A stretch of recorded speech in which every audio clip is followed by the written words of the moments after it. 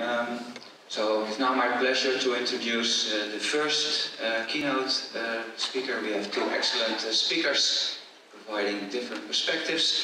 The first keynote address will be given by Kalpana Balakrishnan, who's director of the Sri Ramachandra Institute for Higher Education and Research at Deemed University in uh, India. And I'm going to give you the slide.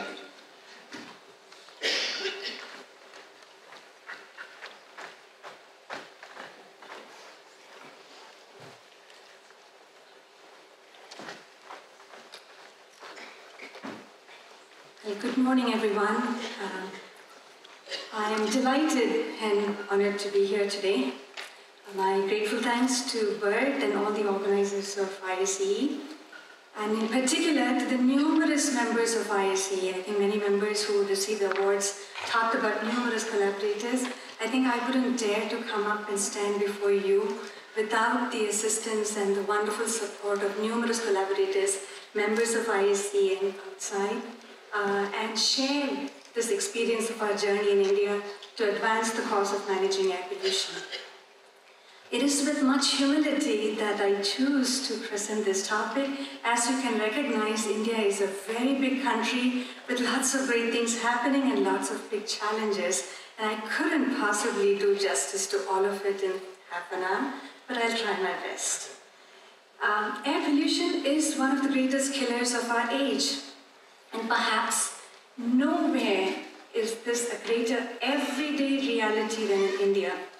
Millions of young girls, young women, children, and other members of the family in rural homes are exposed to household pollution from the use of solid biomass fuels for essential everyday activities such as cooking.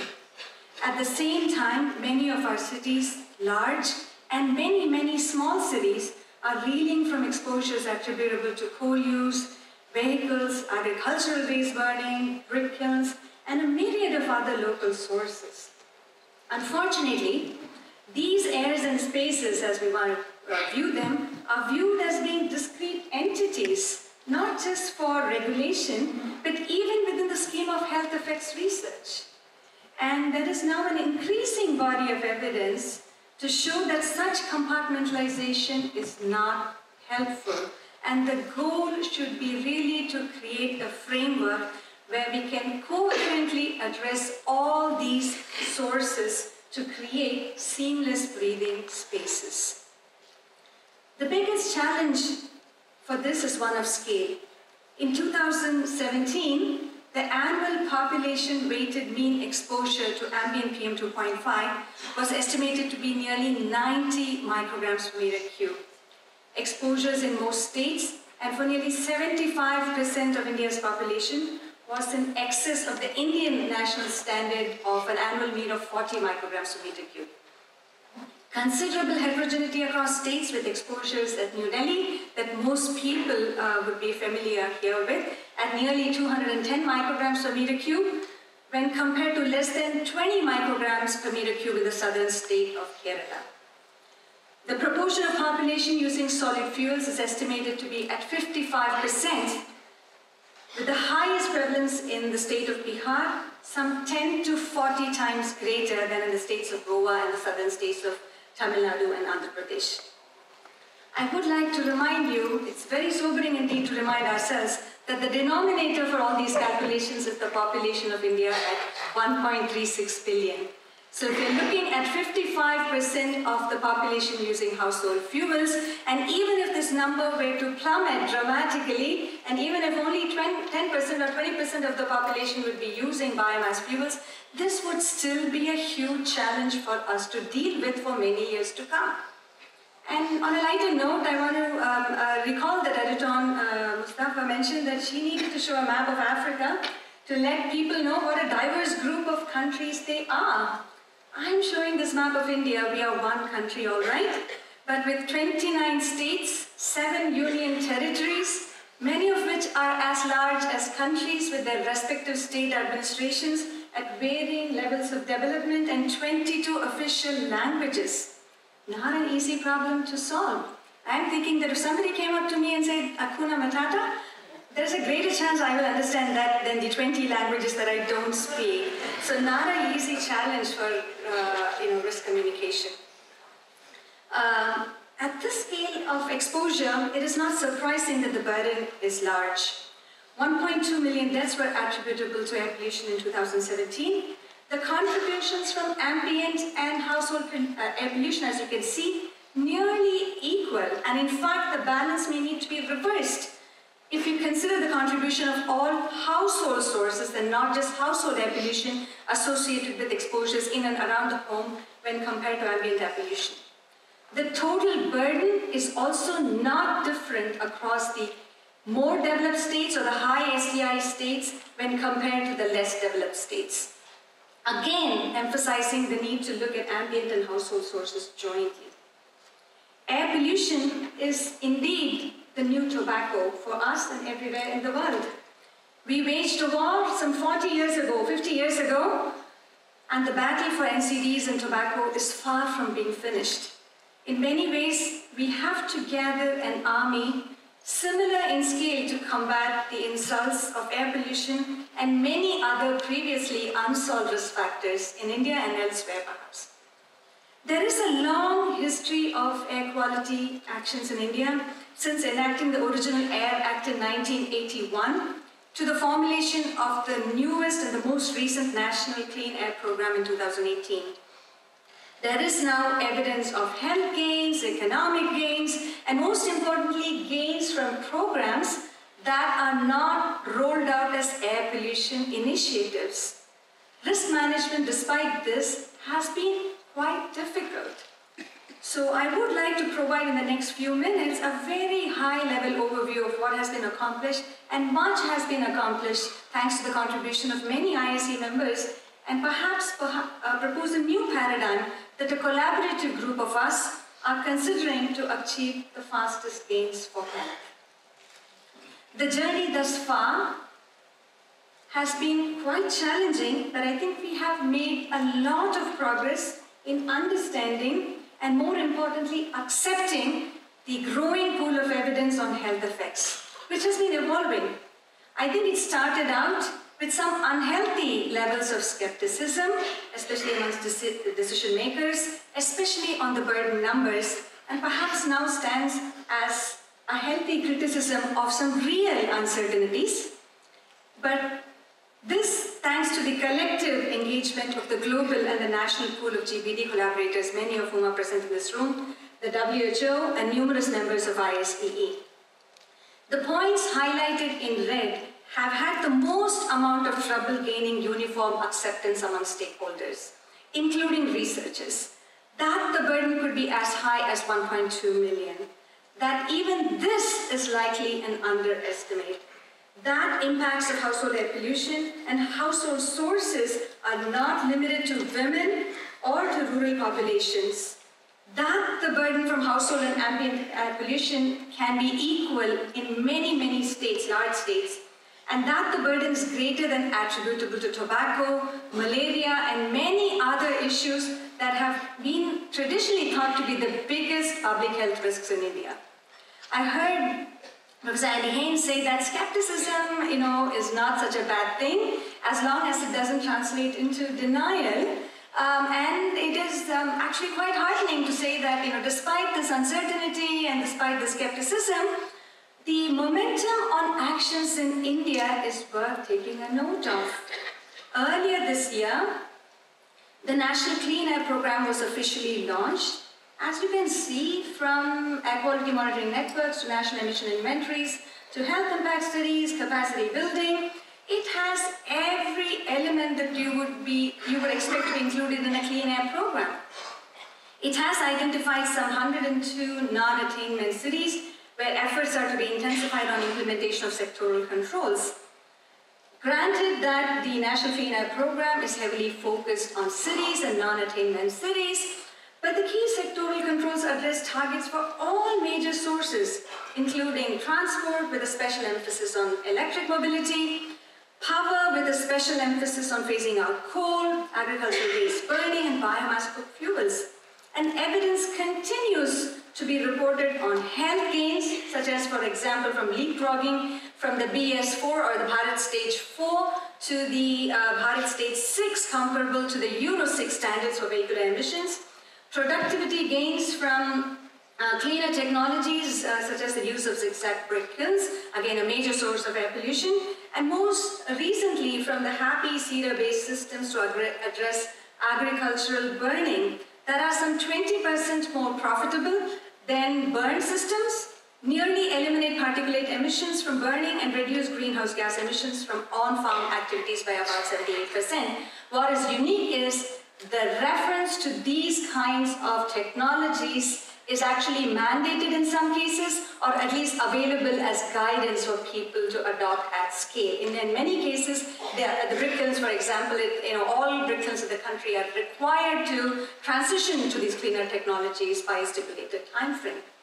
But what is relatively new in our scheme of thinking is prioritizing ambient sources on the basis of health impacts and the overwhelming contributions from the household cook fuels.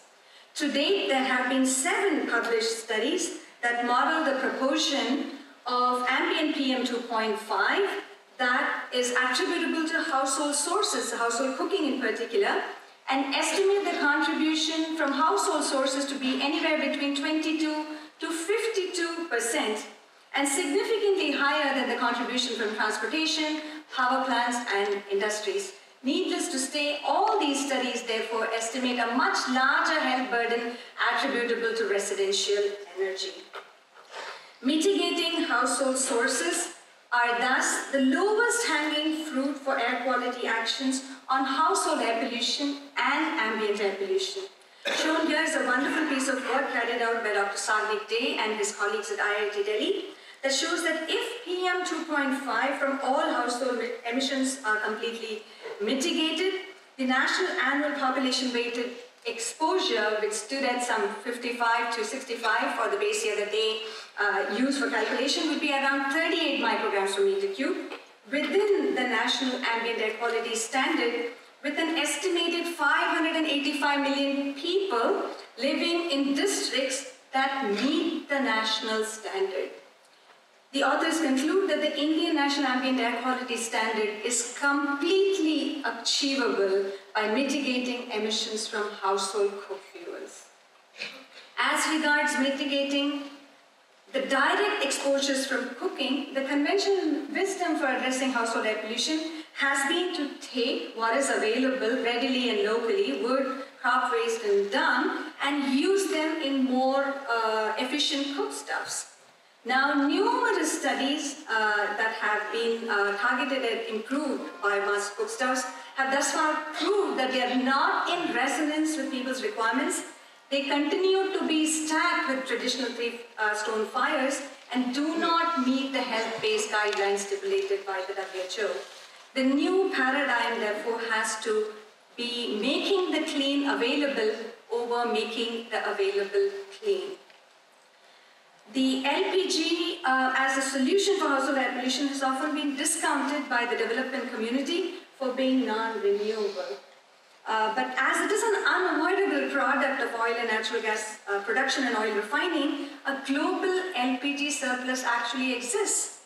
And further yet, the environmental footprint of LPG is negligible compared with biomass and other fuels because of its very efficient and complete combustion and its sustained performance and field use over time. LPG emits negligible amounts of black carbon and other short-lived pollutants that contribute to global warming. And a recent analysis by EASA concludes that from switching from wood to gas for cooking is really not a climate problem. In India, the national fuel wood displaced due to the increased LPG access between 2001 and 2011 was approximately 7.2 million tons. This is estimated to have resulted in a net uh, emissions reduction of nearly uh, 6.73 metric tons of carbon dioxide uh, emissions. In fact, some of the surplus LPG is vented or flared at oil and gas production sites, wasting this valuable fuel resource and spewing carbon back into the atmosphere. Using it for clean cooking would make a lot more sense. If anyone wants to argue on climate grounds with a woman cooking with solid fuels, I suggest that we spend a week in a rural kitchen, spend three to five hours collecting fuel, and try and cook three meals every day and still see if you can still bring yourself to make this argument with. Again, Dr. Mustapha made this case for this extraordinary energy dilemma in LMICs. Communities just want to lead their everyday lives with enough energy to lead a life of dignity. Indeed, filling this community aspiration to cook with clean fuels is the cornerstone for the runaway success of the Prime Minister's LPG program, termed as the Pradhan Mantri Ujjwala Yojana. And interestingly, it was not rolled out as an air pollution initiative. The focus of the program was all about fulfilling community aspirations with social investments on infrastructure required to address the barrier, the first barriers access and availability for adoption of clean fuels. The program has many unique features. It is women-centric, enabling her to first obtain a license connection since all LPG supply in India is regulated centrally through public sector oil marketing companies, enables financial inclusion because she can't get a gas connection and she can only get a connection if she has a unique identity card tagged to her own bank account and has explicit fiscal resources for the program implementation. It has been envisioned at an unprecedented scale and what's even more unbelievable is that it has been ahead of the stated annual target every single year for the last five years.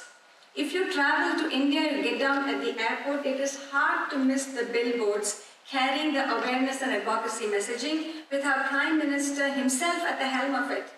Some 80 million households have been enabled with access to LPG in just a matter of four years. The first and the most critical barrier for transitioning to clean fuels. And this happened in states, Uttar Pradesh, West Bengal, Bihar, Madhya Pradesh, Rajasthan, all these states struggling from the dual insults of ambient and household air pollution. Of course, sustained use is the next barrier. We recognize that as people transition into cleaner energy, such as LPG, they continue to use the old traditional fuels and uh, you know, stacking really does not help with achieving health relevant exposure reductions, but it's really the first essential barrier to be crossed. And because sustained use is contingent upon crossing the economic barrier, to cross the affordability barrier, we can't possibly recommend providing free LPG all the time to everybody that needs it. And therefore, we have been engaging in some strategic epidemiology on how best to prioritize clean energy investments by examining health effects on the most vulnerable groups and exposure windows. Recently published results from the first cohort studies establishing the exposure response on pregnant women for birth weight estimate a nearly 82 gram decrease in birth weight uh, associated with biomass use when compared to using LPG use. And in India, with an estimated national low birth prevalence of about 18%, with some states at about 25%, this really is a big deal. And efforts are now on to strengthen this evidence through the multi-country LPG trial or the HAPIN um, trial, uh, across four countries that include India, and that is going to examine impacts on birth weight, child pneumonia, child growth, and blood pressure in older women as primary outcomes. All this progress is great, uh, but we all recognize that despite all of this, you know, goodness that's that out there in terms of programs, you know, on the ground, it's not as though we've cleaned up all our cities or cleaned up all our villages. Risk management for air pollution is proving very, very difficult. So the biggest barrier perhaps is not more evidence, but really capacities for agents of change. Of course we need the long-term mortality studies. Of course we need to refine the exposure-response relationships. Of course we need source-specific information. All this would be great, but what is really needed now is the initiation of a healthy dialogue between those who create this evidence, who create this information, and those who distribute it and the decision makers.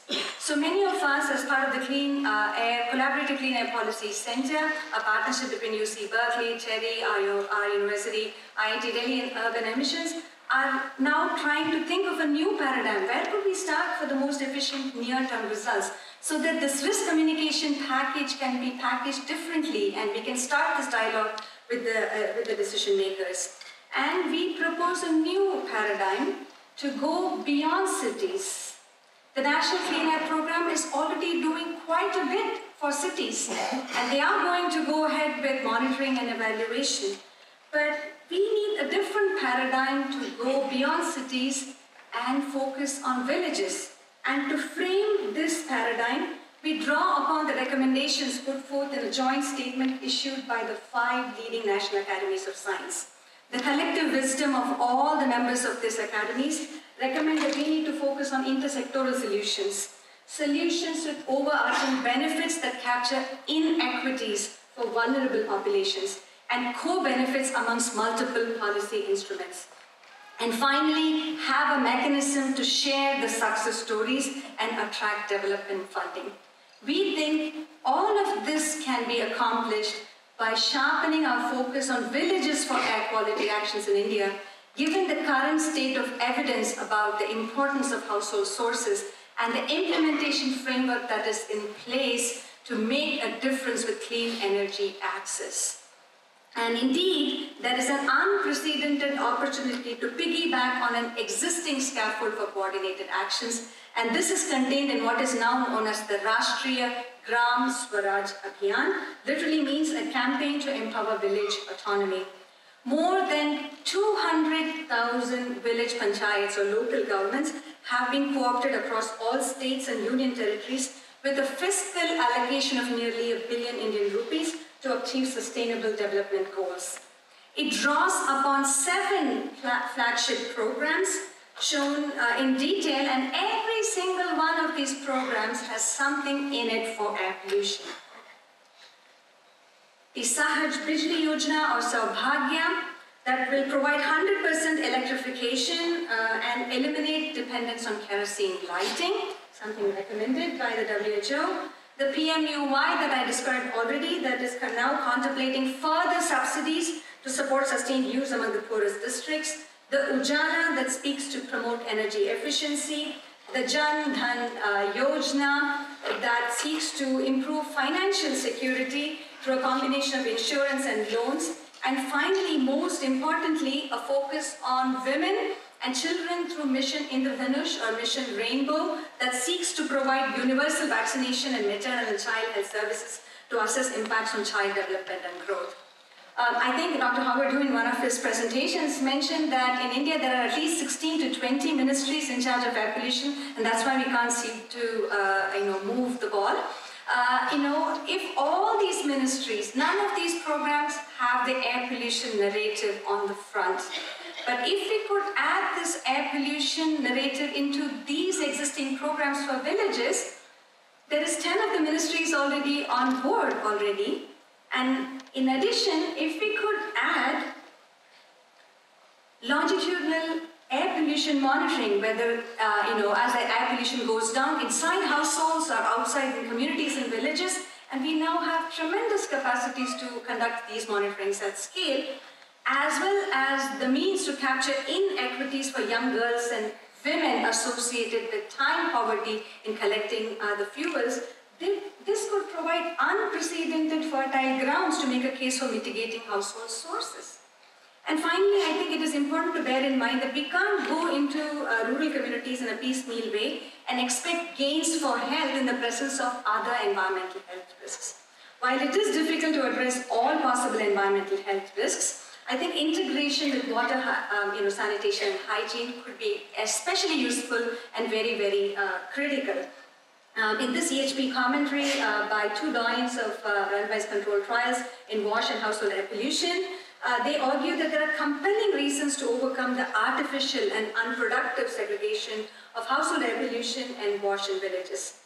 Both these programs face similar challenges in designing, implementing, and securing the sustained use of scalable interventions, including clean fuels and water. We could thus perhaps make an even greater case for developmental investments by starting and thinking that the A in WASH stand for air pollution. So in conclusion, I would like to say that focusing on accountability studies on air pollution is really the need of the day. and focusing on accountability studies on rural population for air pollution mitigation may serve as a tipping point to advance the case of all air quality actions at scale and in the near term in India. You see these pictures of women and old people biking in villages? It's possible in Utrecht and in villages in India, but not in the cities of India. Uh, India really lives in its villages. We really need to be looking at lessons learned from the rural initiatives uh, that can provide the required momentum to advance not only the goals of sustainable development in the long term in India, but elsewhere in low and uh, middle income uh, countries. So uh, I would like to uh, recap what um, Annette said in, um, yesterday in, uh, in, in her talk, quoting John Goldsmith. Some smart, well done strategic epidemiological studies are what India needs. We should not lose the beauty of simplicity by distancing ourselves from the people by merely telling them what's wrong and who's responsible for polluting their environment with their environment, but by telling them what works and what could work. The very small community of environmental epidemiologists in India and my own uh, team of very dedicated researchers, many of whom uh, who are there in the audience, would gratefully welcome the assistance of the ISEE. And I think Ruth said that ISEE supports the lone zebra. Well, we are not quite lone, but we are really a small, a small uh, you know, pack of people trying to meander through this jungle of the numerous considerations that is really required for equality actions. So we would be very grateful to receive this assistance, this collaboration, and making a difference really for our future should not be a matter of choice. So thank you again, ISEE, from the bottom of my heart on behalf of my entire research team and all the numerous collaborators, one too many to name. I really apologize for not being able to name all of them, but I am really hoping that we will be able to welcome you all to a future meeting in India, an ISEE meeting in India, and we're hoping by then we will get our airs, waters, and spaces right. So we will have all these places looking like this to welcome you in a few years. So hope to see you in India soon. Thank you again.